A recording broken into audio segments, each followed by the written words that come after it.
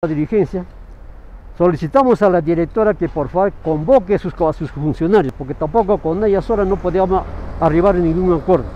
De tal forma que llamó a su logística, jefe de logística, jefe de farmacia y al administrador. Entonces con esos tres hemos podido dialogar ampliamente. ¿Qué se ha planteado y qué se ha aprobado? Bueno, lo que se ha planteado, entre otros puntos, es la mala atención que dan a las personas Primero a las personas de la tercera edad. Y no solamente a los de la tercera, sino a todas las personas que estamos asegurados. No hay un respeto a la ley de la tercera edad. No hay una señalización por donde debemos de movilizarnos los de la tercera edad, de tal forma que, seamos, como la ley dice, preferencia a los de la tercera edad, pero sin embargo no se está cumpliendo.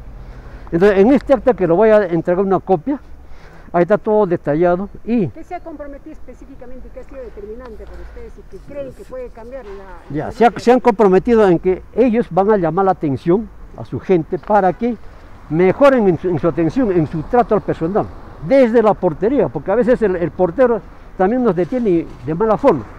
Todo eso lo van a corregir. Lo otro es de que van a, van a poner unas, unas señalizaciones de tal forma que nosotros de la tercera edad tengamos por, libremente para transitar y ser los primeros en, en, atención, porque la ley dice preferencia a los de la tercera edad.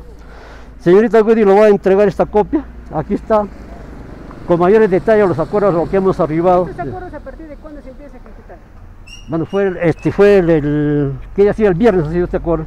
Se supone que a partir de hoy día, de hoy día ya debe de cumplirse. Es más,